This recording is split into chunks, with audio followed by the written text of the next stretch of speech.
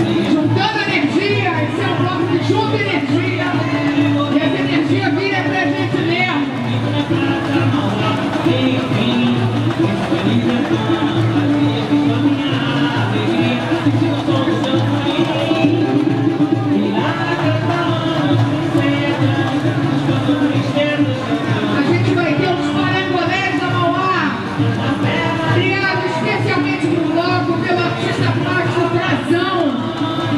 for hearing him.